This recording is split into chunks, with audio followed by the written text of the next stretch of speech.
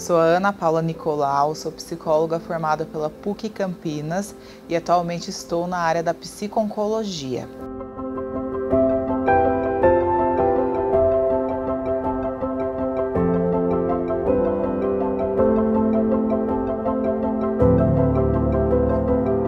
Hoje eu trabalho com pacientes que estão em tratamento oncológico, seja esse tratamento a quimioterapia, a hormonioterapia ou a imunoterapia. Então, são aqueles pacientes que foram diagnosticados com um câncer e estão iniciando aí uma jornada de tratamento. A, a psiconcologia ela é uma área da psicologia da saúde, é um braço dessa área. E ela é nova, né? Então, a primeira vez que a gente teve um congresso sobre psiconcologia foi nos anos 90.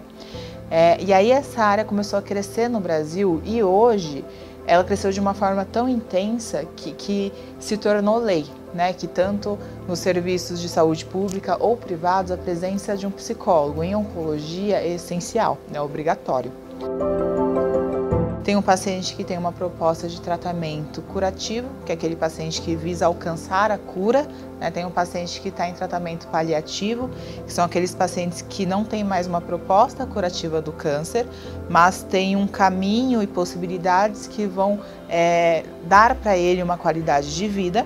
E tem aqueles pacientes em cuidados paliativos exclusivos, que são aqueles que a gente vai cuidar desse finalzinho de vida, aqueles pacientes que estão próximos da morte.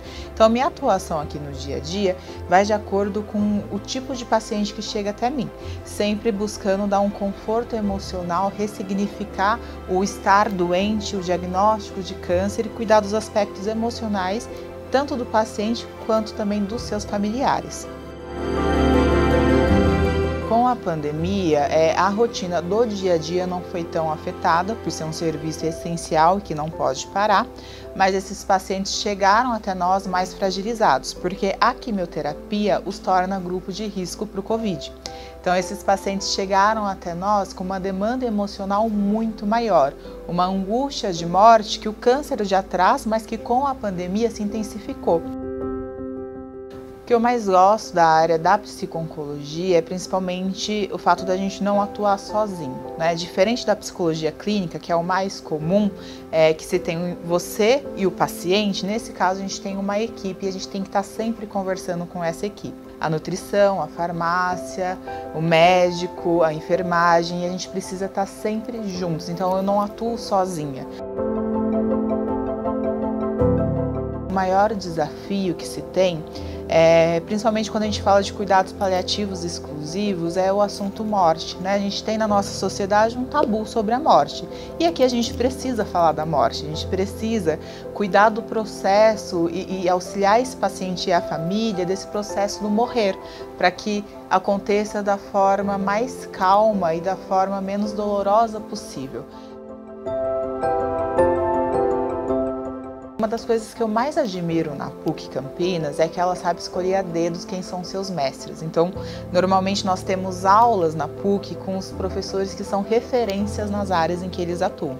Então, a primeira vez que eu ouvi falar sobre a psiconcologia foi numa aula eletiva da PUC no quarto ano, com a professora Nelly Nussi, que é referência na área, porque essa é a característica que a PUC nos traz, né? Então, ali meus olhos começaram a brilhar para esse caminho, para essa área. Eu tenho um carinho enorme pela formação que ela me proporcionou. Desde o primeiro ano que eu entrei, eu entrava nos projetos de extensão sem ter a bolsa, depois vinha a bolsa. Então, desde o primeiro ano até o último, eu vivi a PUC na maior intensidade possível dentro das possibilidades que ela traz. E ela dá muitas portas para nós.